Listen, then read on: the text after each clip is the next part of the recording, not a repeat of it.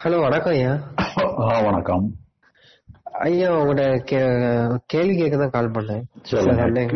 சொல்லுங்க ஐயா ஆக்சுவலா நான் அசிஸ்டன்ட் மேனேஜர் ஒர்க் பண்றேன் பேங்க்ல எனக்கு என்ன ப்ராப்ளமா இருக்குன்னா என்ன சொல்றதுன்னா ரொம்ப கூச்சமா ஃபீல் பண்ணுவேன் புது ஆளுங்கிட்ட பேசுறதுக்கு. கூச்சமா ஃபீல் பண்ணுவேன். சரி. ரொம்ப தாழ்வு மனப்பான்மையிலே ஃபீல் பண்ணுவேன். அதான் என்ன ஆக்சுவலா ரொம்ப லீனா இருப்பேன் ஒல்லியா இருப்பேன். என்னமோ தெரியல. ஆனா நான் இருக்கிற ப்ரொஃபஷனுக்கு வந்து இப்படி இருந்தாலும் சரியா வராது. அதாங்க இது ரொம்ப கொஞ்சம் கஷ்டமா இருக்கும்.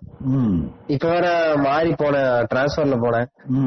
புது புது இடங்களை பாக்குறேன்னா என்ன சொல்றேன்னா ரொம்ப ஒரு மாதிரி கஷ்டமாவே ஃபீல் ஆகும். ரொம்ப நாளா ரொம்ப நாளாவே இப்படிதான் சின்ன வயசுல இருந்தே இப்படித்தான் இருப்பேன். சரி. அதான் இது இதுக்கெல்லாம் என்ன சொல்யூஷன்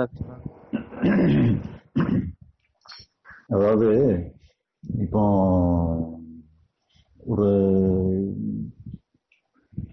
ஒரு நீதிபதி தான் இருக்காருன்னு வச்சுக்கிடுங்க நீதிபதி முன்னால உங்களுக்கு ஒரு கேஸ் நடந்துட்டு இருக்கு சிவில் கேஸ் ஒரு உங்க சைடு உங்களுக்கும் பாதி வெற்றி கிடைக்கிற மாதிரி இருக்கு எதிர் பார்ட்டிக்கும் பாதி வெற்றி கிடைக்கிற மாதிரி இருக்கு. கோட்டார் வந்து கொஞ்சம் நோஞ்சா மாதிரி இருக்காருன்னு வச்சுக்கோங்களேன். நல்ல எபிலிட்டி ஒரு திறமசாலி தான். நல்ல எல்லாமே இது பண்ணதான் செய்வாரு. எது கரெக்ட் என்னங்கிறத பார்க்க தான் செய்வாரு. ஆனா ஆள் வந்து ரொம்ப நோஞ்சா மாதிரி ஒரு ஒரு ஒரு கம்பீரமாலாம் இல்ல. ஆஹ் ஒரு நோஞ்சா மாதிரி இருக்கிறாரு. இப்போ நீங்க அவர் முன்னால தான் நீங்க வந்து சாட்சியெல்லாம் சொல்ல வேண்டியிருக்கு மற்றெல்லாம் பண்ண வேண்டியிருக்கு. அவரு மனசு வச்சாதான் உங்களுக்கு சாதகமா தீர்ப்பு வரும். அவரு நியாயமானவர் தான். அவர் மோசமானவர் இல்லை. ஆனா ஆள் நோஞ்சா மாதிரி அவர் மரியாதைக்குரிய ஒரு மாதிரி இல்லாதபடி ரொம்ப நோஞ்சானா இருக்காருன்னு சொல்லுவாங்க. இப்ப நீங்க அவருக்கு மரியாதை கொடுப்பீங்களா கொடுக்க மாட்டீங்களா? மரியாதை கொடுப்போம் நமக்கு வேணும்னா கொடுத்தனா ஆகணும். அதே மாதிரி இப்ப எந்த இதுலயுமே வேணா அவருடைய அவருக்கு அவருக்கு சபாடி சக ஊழியர்கள் மாதிரி இருக்கிற இன்னும் வேற சில கோட்டார்கள் வேணா அவருக்கு மரியாதை கொடுக்காம இருப்பாங்க. ஆனா அவரு நிர்வாகம் பண்ற இடத்துல அவரு தானே மதியாரி அவரு மரியாதை கொடுத்தானே ஆகணும். அதனால அது மரியாதை வந்துடும் அது. இப்ப. இதுலயுமே என்னன்னா உங்க கவனம் என்னன்னா என்ன செய்யணுங்கிறதுல தான் கவனம் இருக்கணும். என்ன வேலை செய்யணுங்கிறதுல வேலையை நீங்க பெர்ஃபெக்டா செய்யுங்க. அவங்க மற்றவங்க அவங்கள என்ன நினைப்பாங்க எப்படி இருப்பாங்க நம்முடைய தோற்றம் எப்படி இருக்குங்கிறதெல்லாம் அது ஒரு கடையில இருந்துட்டு போட்டோம். நீங்க அதுக்கு முக்கியத்துவம் கொடுக்க வேண்டியதில்லை. அதுக்கு முக்கியத்துவம் கொடுத்துட்டீங்கன்னு என்ன ஆகுங்கன்னா அது மாற்ற முடியாத ஒண்ணு இல்ல உங்க உருவத்தை நீங்க மாற்ற முடியுமா? அது முடியாது. ஆமா அதனால அது அப்படிதான் இருக்கும். நம்ம இருந்த நிலையில இருந்து ஒரு ஒரு ஜட்ஜ் வந்து ஒரு ஒரு மோசமான தோற்றத்துல இருந்தும் நல்ல தீர்ப்பு வழங்க தானே முடியும். அந்த மாதிரி நீங்க செயல்ல நீங்க காட்டுங்க. செயல்ல உங்க இதெல்லாம் காட்டுங்க. உங்க கவனம் செயல்ல மட்டும் இருக்கட்டும். உங்களுடைய பிளஸ் பாயிண்ட்ல உங்களுடைய கவனத்தை செலுத்துங்க. உங்களுடைய மைனஸ் பாயிண்ட்ல உங்களை கவனத்தை செலுத்த வேண்டாம். இப்ப அதுல செலுத்துறதுனால லாபம் இருந்ததுன்னா பரவாயில்ல. இப்போ நீங்க சில வேலைகளை உங்களுக்கு சுறுசுறுப்பா செய்ய முடியல. தான் செய்ய முடியுது. சுறுசுறுப்பா செய்யறதுக்கு என்ன வழின்னு சொல்லி நீங்க அதுல கவனம் செலுத்தலாம். உங்களுடைய மைனஸ் பாயிண்ட் அது இருந்ததுன்னா மைனஸ் பாயிண்ட் பிளஸ் ஆக்குறதுக்கு என்ன உண்டோ அதை பண்ணலாம். இது மாற்ற முடியாதது பாத்தீங்களா? உங்களுடைய உருவ தோற்றமோ நீங்க உங்களுடைய இதுகளோ மாற்ற முடியாத ஒண்ணு. ஆஹ் அது ஒண்ணும் பண்ண வேண்டியதில்லை. ரெண்டாவது ஒரு இன்ஃபீரியாரிட்டி காம்ப்ளெக்ஸ் உங்களுக்கு ஏற்படுதுன்னு அந்த இன்ஃபீரியாரிட்டி காம்ப்ளெக்ஸ் கூட அது சைக்கலாஜிக்கல் மேட்டர் தான். அதனால அது நீங்க சைக்கலாஜிக்கலா உங்களை பத்தி நீங்க அண்டர் எஸ்டிமேஷன் போடக்கூடாது.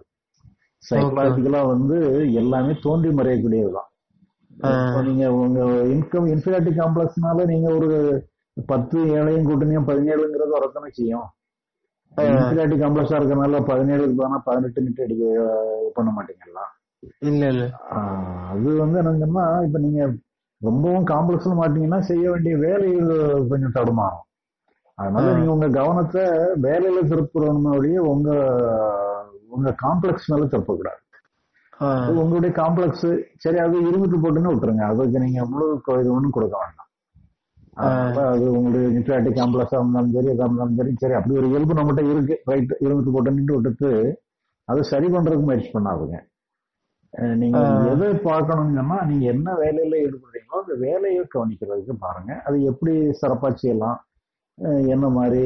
ஏன்னா நீங்க கடன் கடன் கொடுக்க வேண்டிய இருந்தீங்கன்னா நீங்க பார்த்து தானே கொடுக்கணும். சும்மா சரியான முறையில இல்லாதபடி அடுத்தவங்க உங்களை டாமினேட் பண்ணிட்டாங்கன்னா நீங்க அவங்க நம்பி நீங்க கொடுத்துடக்கூடாது டாமினேட் பண்ணி பேசுறாருன்னு சொல்லி சொன்னா நீங்க அதை நம்பி யாருக்கும் கடனை கொடுத்துட்டீங்கன்னு சொன்னா நாளைக்கு உங்க மேல பிரச்சனை ஆயிரும். ஆமா ஆமா. அதனால நீங்க உங்க இதுல உங்க ரூல்ஸ் அண்ட் ரெகுலேஷன்ஸ் படி நீங்க நல்லா இருந்துடுங்க அதை பார்த்துக்கிடுங்க. உங்க செயல்களை எப்படி வெற்றிகரமா செயல்படுத்தணும் சாமர்த்தியமா செயல்படணுங்கிறதெல்லாம் உங்க கவனம் இருக்கணும் ஒழிய. உங்களை நீங்க எப்படி வச்சுக்கிடணுங்கிறதெல்லாம் உங்க கவனம் இருக்கக்கூடாது.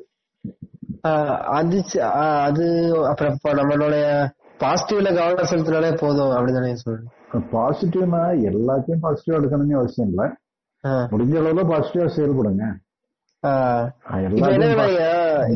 இப்ப நம்ம ட்ரெஸ்ஸிங் சென்ஸ் கூட இப்ப யோசிச்சு பார்த்தேன். ட்ரெஸ் எல்லாம் கொஞ்சம் நல்லா புது ட்ரெஸ் வாங்கி போடலாம். எனக்கு இது கூட இது வந்து அடுத்தவங்களுக்காக செய்யற மாதிரி இருக்குது அப்படிங்கிற மாதிரி தோணுச்சு. இல்ல அது அது ஓரளவு இதெல்லாம் பண்ணலாம்ல நீங்க. ட்ரெஸ்ஸுங்கிறது அடுத்தவங்களுக்காக பண்ணாலும் கூட இது பண்ணலாம். நீங்க அடுத்தவங்களுக்காக பண்ணலாம். ஒரு ஒரு கம்பீரமான லுக் இருந்தா நல்லது தானே அதுக்கு என்ன உண்டோ அதை பண்ணுங்க. நல்ல ட்ரெஸ்ஸா போடுங்க. நீங்க பழைய இடத்துல போடணும்னு அவசியம் திடீர்னு மாத்தினா வேற மாதிரி இருக்கும். புது இடத்துல போகும்போது நல்ல ட்ரெஸ்ஸோட போங்க. அதாங்க இப்ப இது கூட பாத்தீங்கன்னா மத்தவங்கள அதாவது இது கூட ஒரு எமோஷனல் செக்யூரிட்டி மாதிரி தான் இருக்குது. இல்ல அதாவது சிலவங்க வந்து பார்த்தா இப்போ ஒரு போலீஸ்காரன் வந்து போலீஸ் ட்ரெஸ்ல வந்தாலும் மஃப்டில வந்தாலும் மஃப்டில வந்தா யாரும் மதிக்க மாட்டாங்க பாத்தீங்களா? ஆமா அவன் ட்ரெஸ்ல யூனிஃபார்ம் இருந்தாலும் போலீஸுக்கு மரியாதை உண்டு.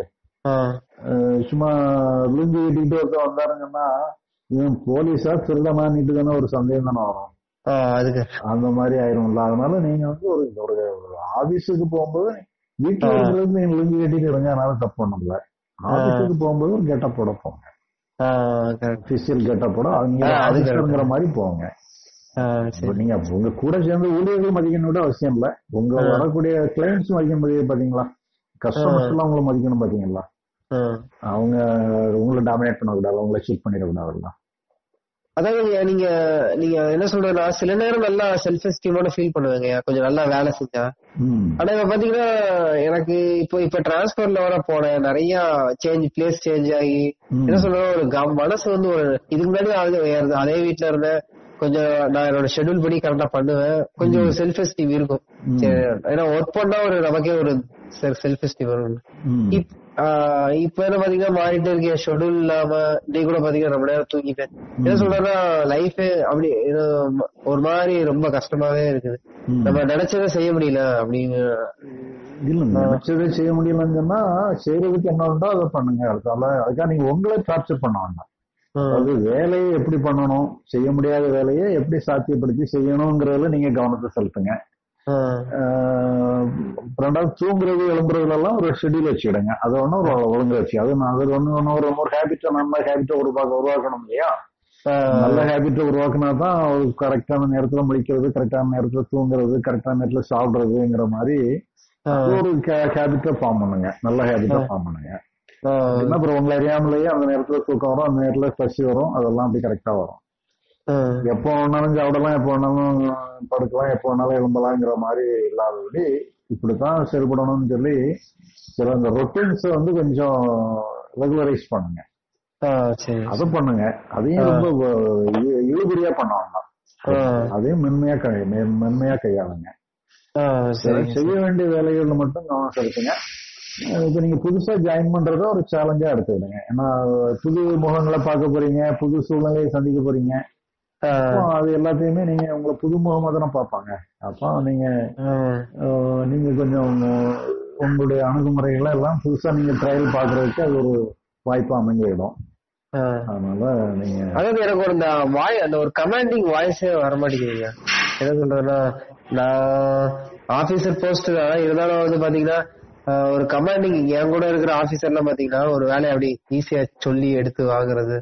அதை செய் இதை செய் சிலவங்களுக்கு அந்த மாதிரி எல்லாம் இயல்புன்னு இருக்கும் அதை பத்தி யோசிக்க வேண்டாம். இப்ப நீங்க பாருங்க இப்போ. உங்க ஒரு இப்- இப்ப நீங்க ஒருத்தர்ட்ட வந்து ஒருத்தர் கையில வச்சிருக்கிறாரு. ஒருத்தர் கையில வந்து ஒரு பொருள் வச்சிருக்கிறாருன்னு வச்சுக்கோங்களேன். அந்த பொருள் உங்களுக்கு தேவையானதா இருக்கு. அதை நீங்க அவர்கிட்ட கேட்கணும். கேட்டு வாங்கணும்னா நீங்க எப்படி கேட்பீங்க? எனக்கு கொடுக்க முடியுமா? விலைக்கு கொடுக்க முடியுமா? இல்ல ஏதாவது இது பண்ண முடியுமான்னு சொல்லி நீங்க கேட்பீங்க. இப்ப அதே நேரத்துல ஒரு மூணு வயசு குழந்தை அந்த பொருளை வச்சிருக்குன்னு வச்சுக்கோங்க. எப்படி இப்ப என்ன மாதிரி கேட்பீங்க வாங்கிருவோம் அப்படி. கொஞ்சம் கொஞ்சம் கூட சிரிச்சு கேட்போம் அப்படி ஒரு கொஞ்சலாம் கேட்க மாட்டீங்களா? அப்படிதான் கேட்போம். ஒரு குழந்தைன்னா கொஞ்சம் டோன் வந்துருது. நீங்க எங்க இருந்து கத்துக்கிட்டீங்க குழந்தைகிட்ட கொஞ்சலாம் பேசணுங்கிறது? அது உங்களை அறியாமலே வந்துருதுல்ல.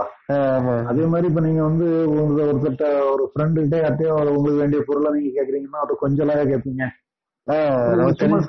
ஒரு நார்மலா பேசுற மாதிரி பேசுறீங்க அப்ப என்னன்னு நீங்க எந்த செயலை செய்யணுமோ அதுக்கு தகுந்த டோன் உங்களுக்கு வந்துடும் ஓகே அதனால நீங்க டோன் வரணும்னு சொல்லி நீங்க குழந்தைகிட்ட வந்து நான் குழந்தைகிட்ட மென்மையா தான் பேசுவேன் எல்லாம் பேசுறது இல்ல அறியாமலே அந்த டோன் வந்துடும் அதனால உங்களுக்கு என்ன டோன் வருதோ அதை பத்தி பிரச்சனை இல்லை. டோனை பத்தி எல்லாம் யோசிக்காதீங்க.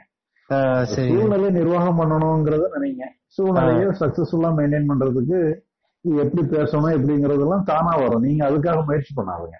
ஓகே டோன் ரொம்ப கம்பீரமாலாம் இருக்கணும் அப்படி இப்படிலாம் நீங்க முயற்சி பண்ணீங்கன்னா சில நேரம் தான் சக்சஸ் ஆகும் சில நேரங்களில் சக்சஸ் இல்லாம போயிடும் சூழ்நிலையை நிர்வாகம் பண்ணணுங்கிறத மட்டும் கவனத்துல ஓகே, சூழ்நிலை. நிர்வாகம் பண்றதுக்கு என்ன மாதிரி டோன் உங்களுக்கு தேவைப்படுமோ அந்த டோன் வந்துடும் இயல்பாவே வரும். ஆமா ஆமா. அதனால அந்த டோனை நிர்வாகம் பண்ண வேண்டாம். நீங்க சொல்றது நான் ஃபீல் பண்ணிருக்கேங்க ஆனா இப்பதான் அது கரெக்டா புரியுது. சரி சரி சரிங்க சரிங்க. ரொம்ப உங்க வேலை வந்து என்னன்னா உங்க கவனம் வந்து நீங்க என்ன செய்யணுமோ அதுலதான் இருக்கும். சரி சரி இதெல்லாம் வந்து என்னன்னா நீங்க உங்களை சரி பண்றது உங்க டோனை சரி பண்றது ட்ரெஸ்ஸை சரி பண்றது இதுங்கிறதெல்லாம் ரொம்ப போட்டு முயற்சி பண்ணிக்கிட கூடாது ஓகே. அதை செகண்டரி இதா வச்சுக்கிடுங்க. ரெண்டாவது நீங்க ட்ரெஸ் வந்து பண்ணிட வேண்டியதான் ஏன்னா அடுத்தவங்களுக்காக பண்றதை நீங்க கொஞ்சம் பண்ணிக்க வேண்டியதான் உங்களுக்காக பண்ணல அது.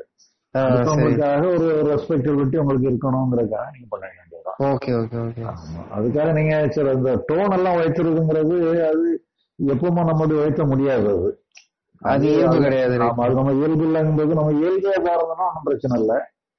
மற்றபடி நம்ம எப்பவுமே அதை வைக்க முடியலங்கும் போது பேசாம அதை போய் நம்ம இது பண்ணிட்டு இதாயிட்டுடக்கூடாது அதனால அதை நீங்க டோன் எல்லாம் அப்படி வைத்தோம்னா அந்த எந்தெந்த நேரத்துக்கு எது வேணுமோ இந்த சூழ்நிலை நிர்வாகம் பண்றதுக்குள்ள டோன் நேச்சுரலா எது வருதோ அதை பயன்படுத்திடுங்க ஆ, சரிங்க சரிங்க. சரிங்க ரொம்ப நன்றிங்க ரொம்ப நன்றிங்க. நன்றி நன்றிங்க.